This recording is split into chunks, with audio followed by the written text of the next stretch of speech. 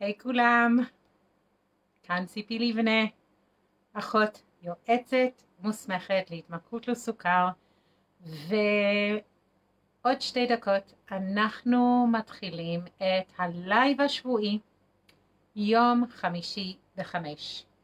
אנחנו היום יום חמישי, אנחנו בחול המועד סוכות וכבר יש לנו צופה אחד, אני אה, תזדהו, תראו איזה לייקים, תיתנו את התגובות שלכם.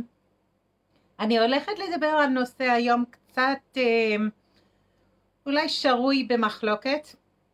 אה, נושא של הלייב שלנו היום זה על הקמח. קמח קמח.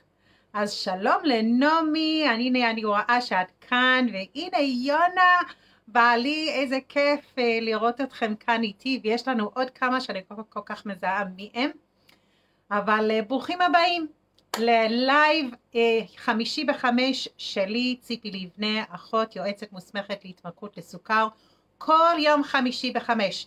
אפשר למצוא אותי כאן בדף הפייסבוק שלי.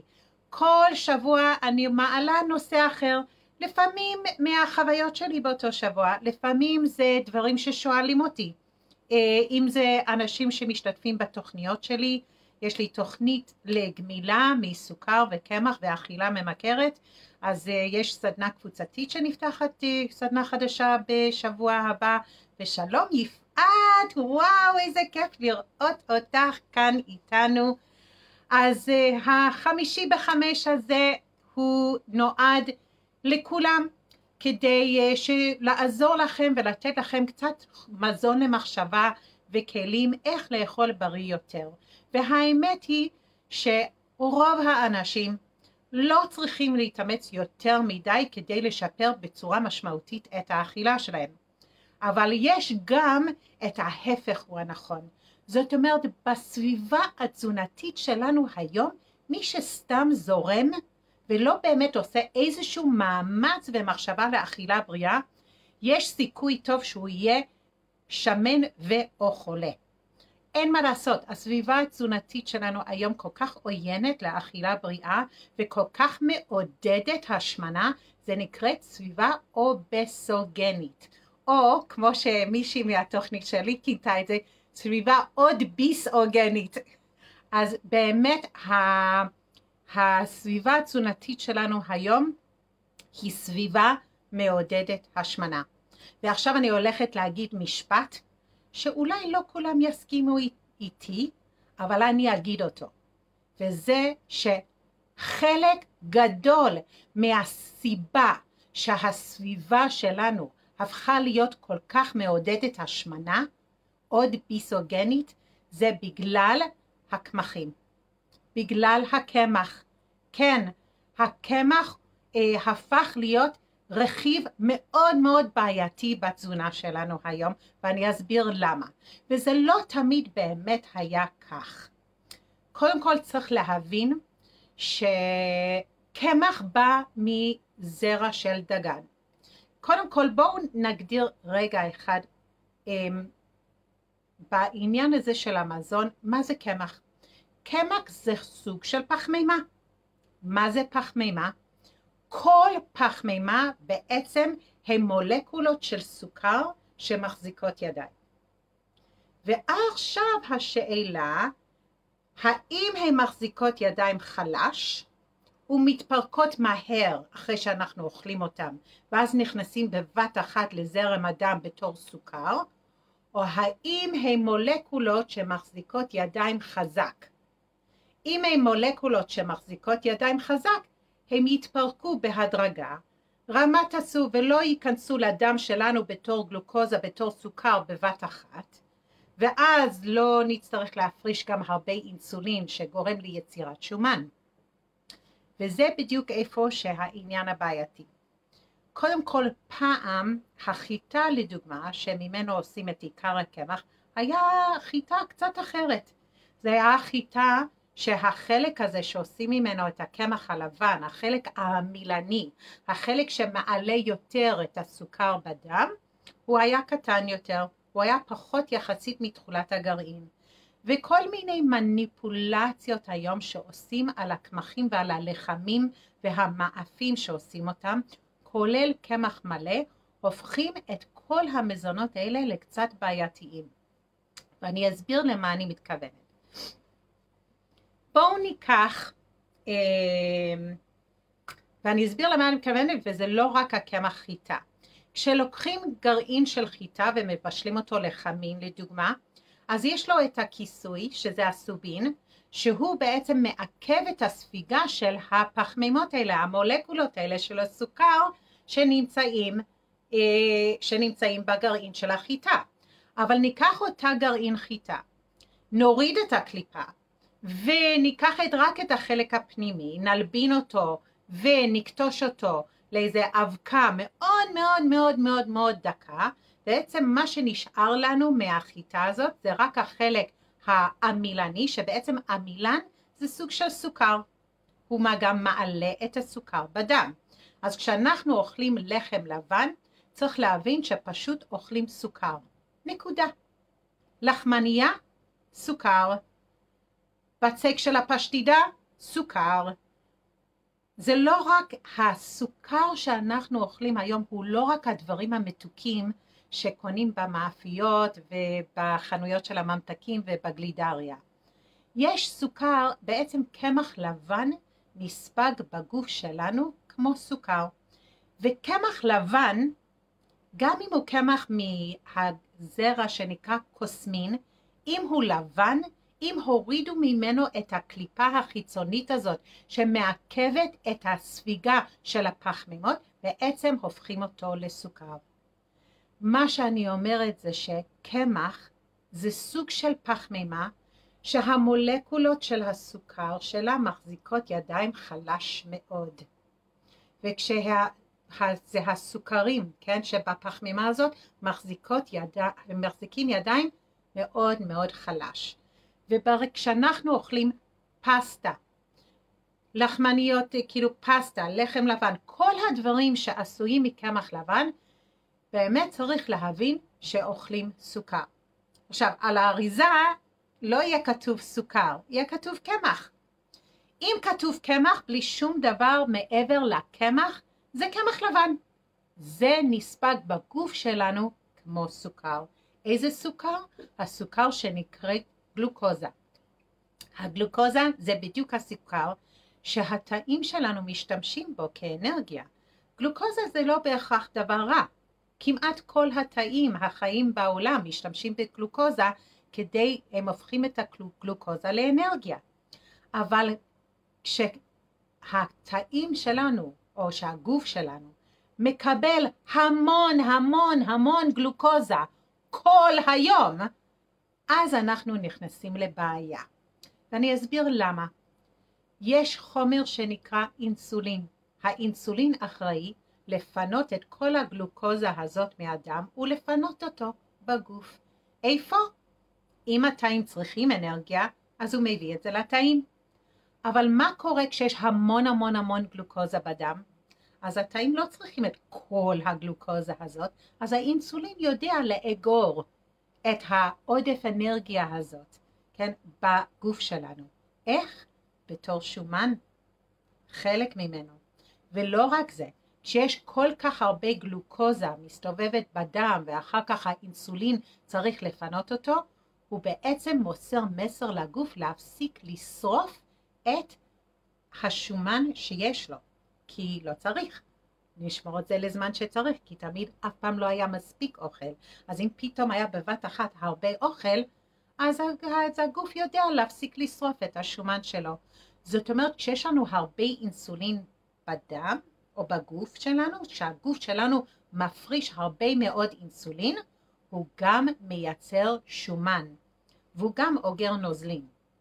אז בעצם מה שקורה זה שהקמחים האלה, קלוריה מול קלוריה, הם משמינים יותר מאשר מאכלים אחרים. אפילו לדוגמה חמאה, אוקיי?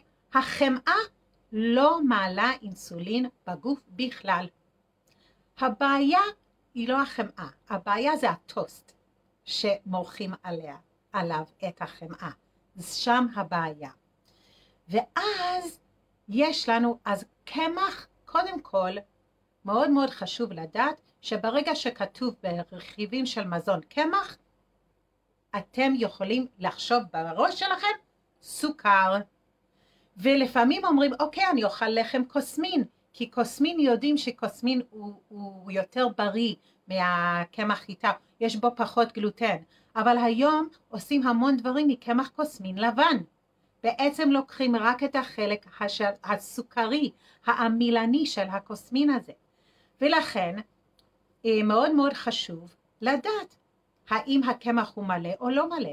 עכשיו גם יש עוד משהו, אל תסמכו על התווית של המזון, שהם כותבים עשוי מקמח מלא. האם אתם ידעתם שהם יכולים לשים אחוז מסוים, אם אני, נדמה לי שזה עד 50 או 60 אחוז קמח מלא, והיתר קמח לבן, ועדיין לקרוא למוצר מקמח מלא. אז זאת אומרת שעדיין אתם אוכלים כמות משמעותית של סוכר, אפילו שאתם קונים כאילו מוצר שנקרא קמח, מקמח מלא. ועכשיו אני אגיד לכם אפילו משהו עוד יותר מהקמח המלא. קמח מלא, כשאנחנו לוקחים גרעין של חיטה וטוחנים אותו לקמח מלא, הגרעין עצמו בנוי משלושה חלקים. יש את הסובין, הקליפה, הוא נקרא הסובין, הוא בערך 15% מתכולת הגרעין.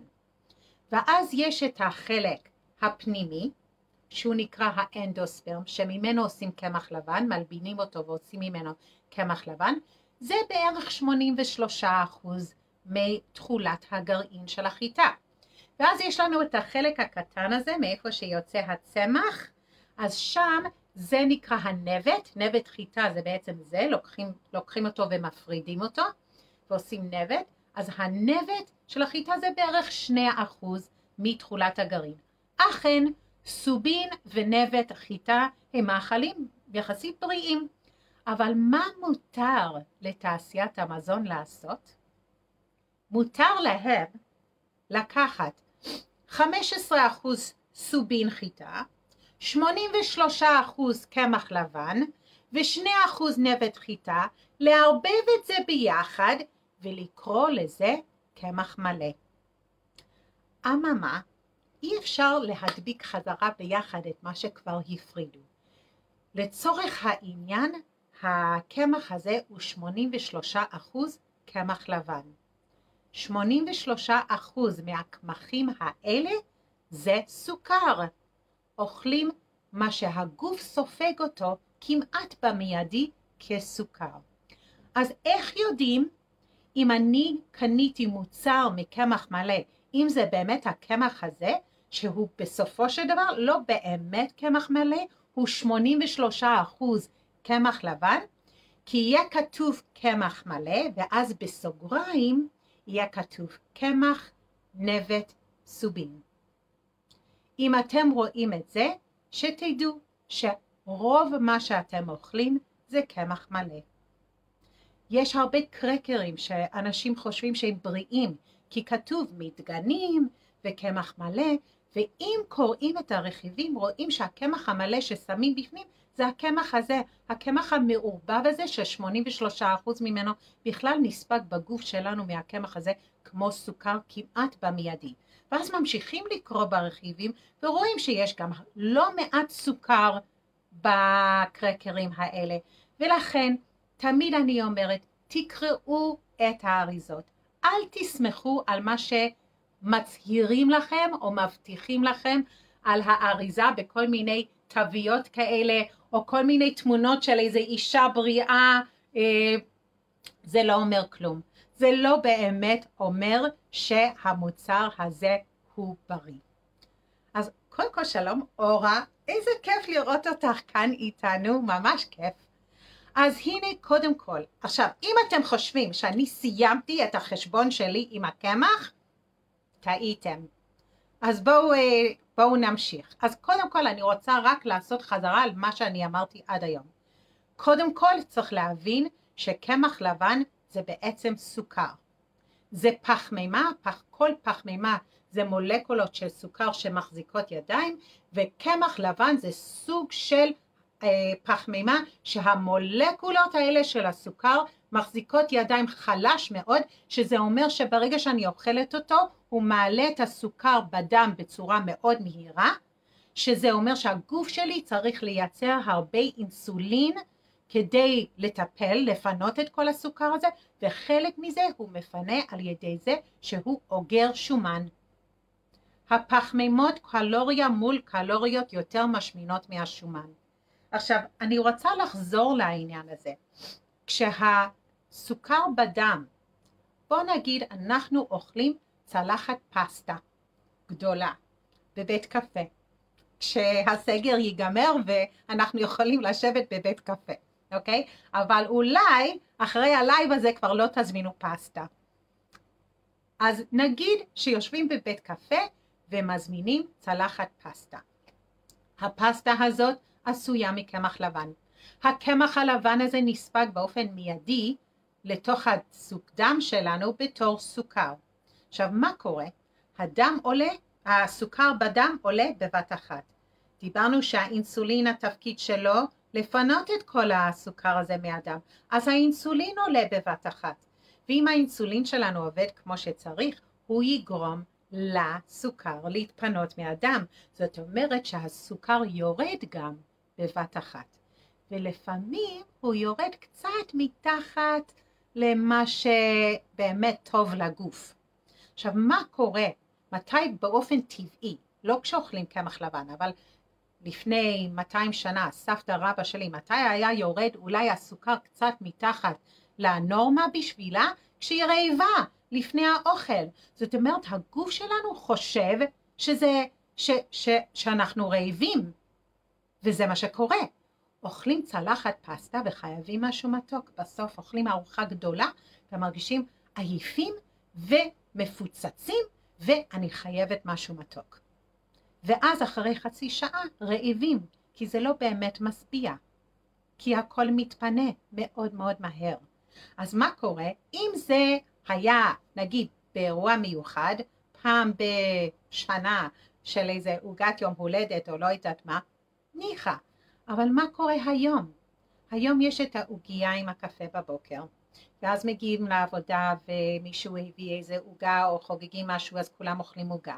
ואז הולכים לארוחת צהריים ומזמינים נודל סיני ואז אה, יש איזה נפילה בסביבות שתיים וחייבים איזה כוס קפה עם משהו או מחפשים לנשנש איזה שוקולד. ואז מגיעים הביתה והיה יום קשה אז צריך באמת לפנק את עצמי עם קפה ועוד משהו, ואז מגישים ארוחת ערב לילדים, אז אוכלים קצת כאילו גם כן מהפתיתים שהכנו להם, או הסנדוויץ', או יש איזה סנדוויץ' שאני אוכלת על הדרך, ואז בערב וואלה יש מול הטלוויזיה, אני רוצה לפנק את עצמי עם משהו ואוכלים איזה משהו. זאת אומרת מה שקורה זה שכל היום יש לנו רכבת הרים של סוכר שעולה בדם, יוצר שומן יורד בדם, רעיבה חייבת משהו מתוק. אוכלת, האינסולין עולה, מייצר שומן, יורד, הסוכר יורד בבת אחת, ואז אני חייבת משהו מתוק. וככה זה כל היום. וזה כנראה מה שקורה להרבה אנשים באוכלוסייה. לא יודעת אם אתם זוכרים, אבל התחלתי את הלייב הזה שאמרתי שמי שרק זורם היום עם מה שיש ולא עושה מאמץ מיוחד לאכול בריא, סביר להניח שהוא יהיה או השמן ואו חולה מאיך שאוכל. כי שמים היום קמחים בכמעט כל דבר שמכינים. עכשיו זה לא רק קמח חיטה לבן או קמח קוסמין לבן, גם הקמחים ללא גלוטן, כן, שכולם חושבים שהם בריאים כי הם בלי גלוטן, אבל כל הלחמניות והעוגות והעוגיות וכל המנות האלה שעושים מקמח ללא גלוטן והצ'יפסים האלה וכל זה שעושים מקמח ללא גלוטן בדרך כלל הם עושים את זה מקמח תירס, קמח אורז ואו קמח תפוחי אדמה, הלחמים, הלחמניות וכל המאפים האלה. הם נספגים בגוף כמו סוכר בדיוק כמו הקמח הלבן. אתם רואים קמח תירס? תחשבו סוכר. רואים קמח אורז? תחשבו סוכר. רואים קמח תפוחי אדמה? תחשבו בראש סוכר. ועכשיו, והנה העניין, אפילו בהמון מוצרים שלא הייתם חושבים שיש שם, שמים עמילנים. לדוגמה, בכל מיני מאכלים שהם דל שומן, אם מוציאים את השומן הטבעי מאוכל, הוא נהיה עם טעם ממש רע במרקם עוד יותר גרוע. אז שמים עמילנים כדי לשבח את הטעם ולשבח גם את המרקם, ואז אוכלים סוכר. והסוכר הזה משמין. הוא משמין יותר מהשומן שהוציאו מהמאכל הטבעי הזה. אז הנה טיפ, גם טיפ, שהוא אולי לא קשור לקמח אתם חושבים, אבל במקום לאכול איזה מעדן עם פרי ועמילנים ואפס אחוז שומן, תאכלו יוגורט עם שומן ותוסיפו לו פרי לבד. זה גם משביע יותר, זה גם טעים יותר וזה פי אלף יותר בריא ואתם חוסכים המון סוכר. אוכלים משהו טעים, חוסכים סוכר. באמת, אם אתם תסתגלו לעצמכם לקרוא את הרכיבים, לקרוא את הרכיבים במוצרים שאתם אוכלים, אל תאמינו לאיזה שהן הצהרות או כל מיני תוויות שיש על המזון. תקראו ותזכרו, אם אתם רואים קמח לבן, זה סוכר. אתם רואים דקדקים מקמח אורז? אתם אוכלים סוכר. פשוט תיקחו את זה בחשבון. אתם רוצים לאכול שווארמה? אולי תוותרו על הפיתה. קודם כל אתם תהיו שבעים יותר, וגם תחסכו מעצמכם הרבה סוכר. אז אם אתם חושבים שעצם זה שאתם לא אוכלים מתוק, זה אומר שאתם לא אוכלים סוכר, העצה שלי, או המזון למחשבה שלי בשבילכם היום זה, באמת תחשבו, אם אתם אוכלים הרבה מוצרים עם קמח לבן, או קמחים לבנים, אז זה אומר שאתם אוכלים סוכר. אל תשלו את עצמכם. הגוף, זה שהטעם לא מתוק, לא אומר שאתם לא צורכים סוכר. זה שכתוב על התווית ללא תוספת סוכר, לא אומר שהגוף לא סופג את האוכל הזה שאתם אוכלים כמו סוכר. הרבה פעמים אם יש בו קמחים לבנים, בשביל הגוף שלנו זה סוכר. הפיזיולוגיה של הגוף שלנו לא יודע לקרוא, כמו, כאילו לא יודע איך אה, להשתכנע מהתוויות מזון של אה, התעשייה. אז אל תיתנו לעבוד עליכם. תקראו את הרכיבים, תפעילו שיקול דעת, תחקרו את הדברים שאני אומרת לכם באינטרנט.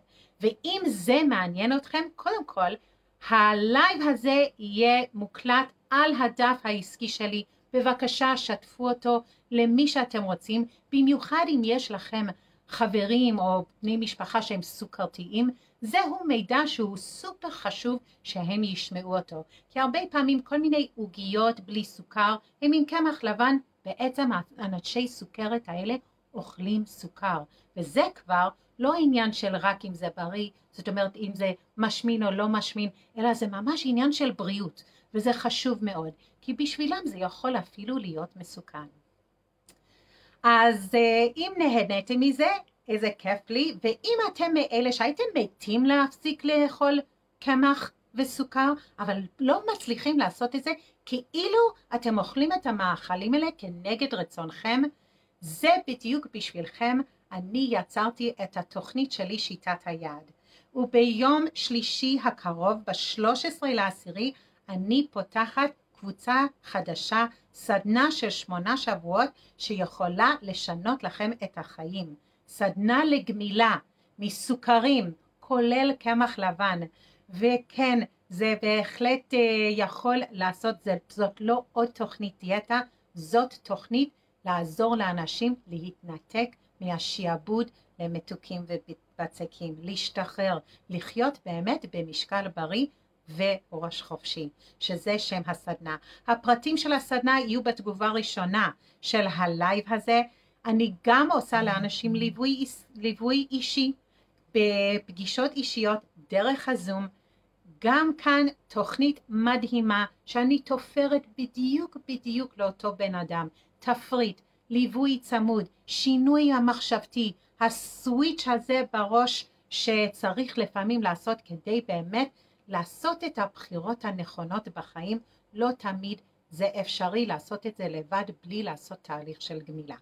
אז uh, בכיף uh, יפעת לרענן לך את המידע על הקמח הלבן. אני מציעה לכם בשבוע הבא לבוא ליום חמישי בחמש, כי בשבוע הבא אני אדבר איתכם על הקמח המלא, כי גם שם יש סיפור. אז שיהיה לכם חג שמח ויום נפלא ושבת שלום, ואנחנו נפגשים כאן שוב יום חמישי הבא בחמש בדיוק. ביי ביי.